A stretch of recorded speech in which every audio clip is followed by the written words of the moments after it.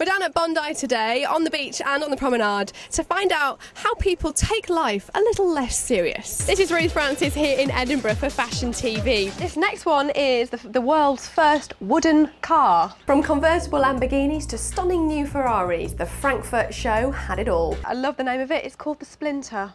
Ah, they're very See what they did there.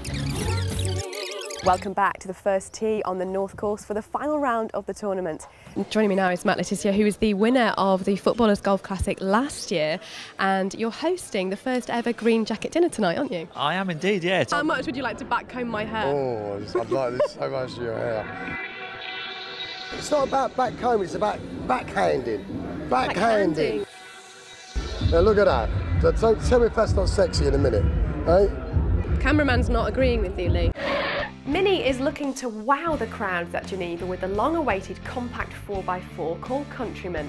Pixio can provide professional, affordable video content for your web presence. But that's not all. We can also build and host your website, stream your content, and even provide you with all the viewing statistics you need. We're backstage here at Stereosonic, and I'm quite excited because I've been backstage quite a few places, and there's usually really good stuff to find. Lots of free drinks, loads of celebrities and VIPs. So we'll start our little tour over here, and we'll see who we've got in the dressing rooms. Oh, loads of people have done that. Really? Yeah. Oh, yuck. Yeah. Well, Fedde Le Grand is currently on stage doing his live set. I'm so excited. And as soon as he's finished, I'm going to grab him and ask him what he likes in his mouth. Oh, yeah. it likes microphones.